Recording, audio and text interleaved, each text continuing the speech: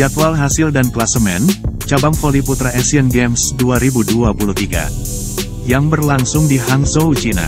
Untuk semua pertandingan dimulai tanggal 19 sampai tanggal 26 September tahun 2023, dan disiarkan langsung di iNews TV.